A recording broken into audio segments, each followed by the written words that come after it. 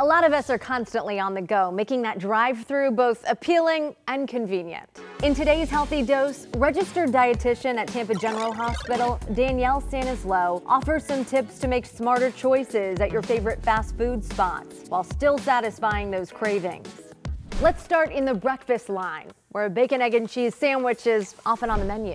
So a better option would maybe be like an English muffin or a bagel. And that way you're still getting, you know, your calcium, your dairy from your cheese and your protein, but we're eliminating some of those saturated fats you might find in maybe like a croissant or a biscuit. Think smarter size options too. I think kids' meals are, are a great portion control. You get your appropriate serving of your protein with your hamburger or and then you can opt for the apples every once in a while. Instead of depriving yourself, ask for add-ons to sneak in more nutrition. So maybe you add your tomato, your onion, maybe pickles. Make a swap when it comes to sauce options.